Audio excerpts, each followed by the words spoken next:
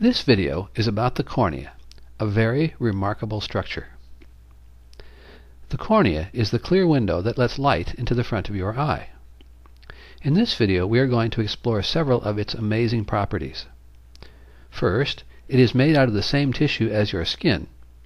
So how is it the cornea can be so clear? Second, optically speaking, the cornea supplies more than half of the focusing power of the eye. Third, the shape of the cornea has to be perfectly smooth and properly curved to make the high quality image that falls on the retina. We will explore all these features in detail. Looking at the front of the eye, some parts are easy to identify. You can see the iris, the colored part, and the pupil, the round hole in the middle of the iris. The cornea, however, is so clear it can only be seen by the light reflecting off its surface. This is the view we get looking through the microscope that we use to examine the eye. The pupil is widely dilated with a slit beam of light passing through the cornea and lens. Each is outlined with dashed lines to make them easier to identify. In diagram view, the cornea is like the crystal of a watch arching over the iris. In the center of the iris is the pupil, which changes size to regulate the amount of light entering the eye. And behind the iris is the natural lens, like the lens in a camera. If the slit beam view was confusing at first, it should now make more sense. You can see the curved shape and thinness of the cornea, separated by a space, then the rounded shape and thickness of the normal lens. In the adult, the average cornea is 12 millimeters wide. Thickness in the center is half a millimeter, at the edge 0.7 millimeters. Think about that. Only half a millimeter thick. Looking closer at the cornea, we are taking a section and magnifying it, showing it has three distinct layers. On the outer surface is the epithelium, a lot like the surface layer of your skin. The middle layer, the stroma, occupies most of the thickness of the cornea, providing its shape and structural integrity. Lining the inside is the endothelium, a single layer of cells that pump fluid out of the cornea, keeping it dry and clear.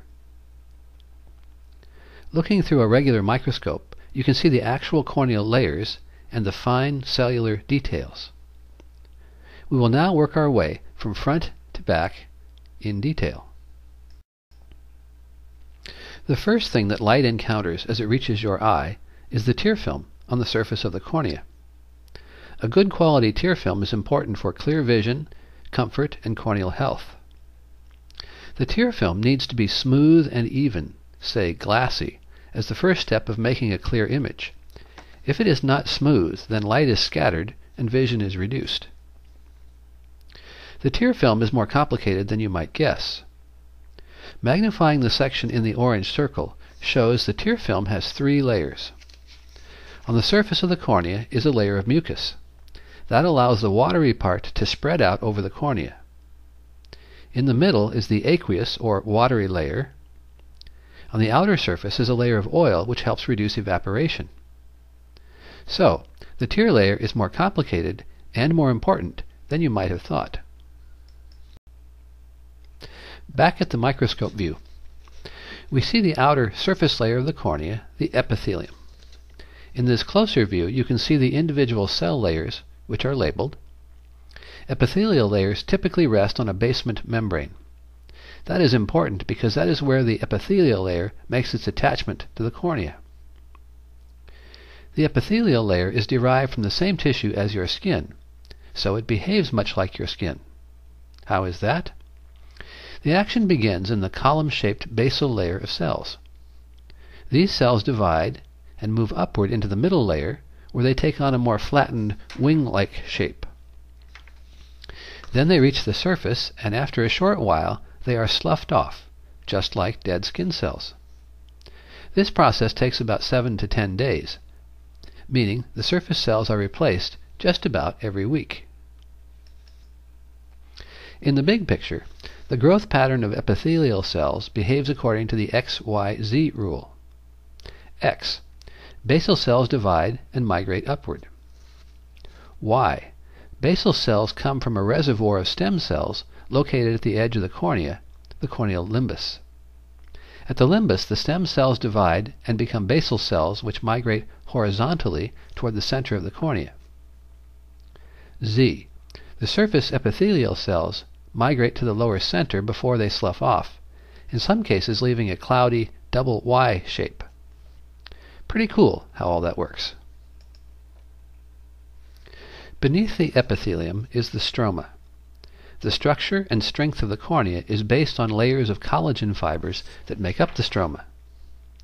In the center, the fibers are oriented in different directions in different layers, while around the edge they run circumferentially. The layered structure affects how the cornea responds mechanically to surgery, which is nicely described in an article, quote, The cornea is not a piece of plastic. That is important in refractive surgeries like LASIK. In the front, the fibers are more adherent, therefore stiffer, while in the back they are more flexible. The stiffness in front helps the front surface maintain a stable shape, which is of key importance to its optical slash focusing properties. We will talk more about those properties in a minute. But first, this is a good place to appreciate the remarkable clarity of the cornea. Over 95% of the light hitting the cornea is transmitted through which is why the only way you see the cornea is by the reflections from the surface. The most common explanation for its clarity has to do with the very orderly arrangement and spacing of the collagen fibers. You get a feel for that in this closer microscope view.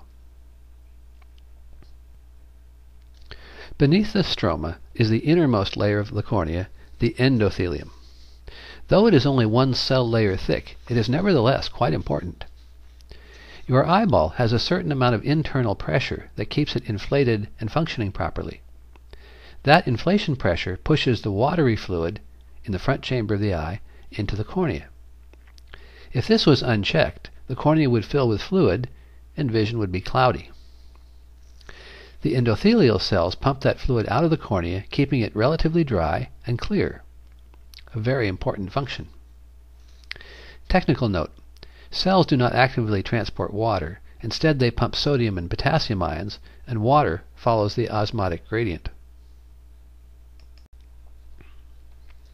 In addition to the corneal layers we talked about so far, there are three layers we didn't mention. At the front of the stroma is a denser layer of collagen called Bowman's membrane.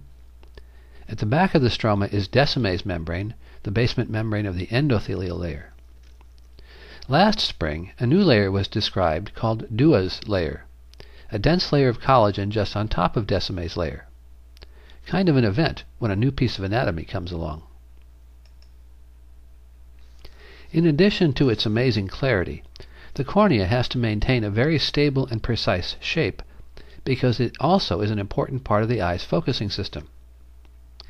You might think that the lens supplies the focusing power of the eye, but that would be less than half right. When light hits the tear film, the curvature of the surface and change in index of refraction causes the light to bend. Then it hits the lens with a different index of refraction and it bends a bit more, finally coming to a focus on the retina. The focal length of the eye is about 22 millimeters. As an approximate calculation, it takes about 60 diopters of focusing power to focus an image on the retina. About 20 diopters comes from the lens, while 40 comes from the cornea. The lens, though it has less focusing power, has the ability to change its focus by changing shape. A marvelous ability which is covered in other videos. To give you a feeling for the focusing power of the cornea, consider what happens when you open your eyes under water. Everything becomes very out of focus. The air to tear interface is lost, so no light bending occurs, and two thirds of your focusing power is gone. Put on a set of goggles, and the air water interface is restored, along with vision. If you haven't studied optics, you might think that a typical lens, or focusing surface like the cornea, would have the nice round shape of a sphere. Unfortunately, a sphere, though a pleasing shape, does not produce a very good image. In a spherical lens, light rays coming through the center of the lens are focused at one place, while those coming through the edge focus at a different place. The image quality is poor. This is called spherical aberration. The ideal lens shape is a parabola where all parallel light rays, both from the center and the edge, are focused at exactly the same spot, producing a good quality image. It turns out the cornea is close to, but not exactly a parabola. Technically, it is a prolate spheroid, steeper in the center, flatter at the edges, with a small amount of positive spherical aberration. In youth, this is offset by the lens, which has a little bit of negative spherical aberration. They come close to canceling each other out, and a high quality image is produced.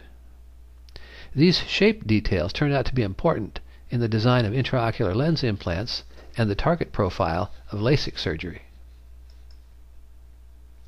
Another kind of aberration is astigmatism, meaning the curve of the cornea is not the same in the up down direction as in the side to side direction. Picture it like the oval shape of a football. In this example, horizontal rays coming through the steeper meridian are focused in one place. Vertical rays coming through the flatter meridian are focused in a different place, further back. Again, this results in reduced image quality.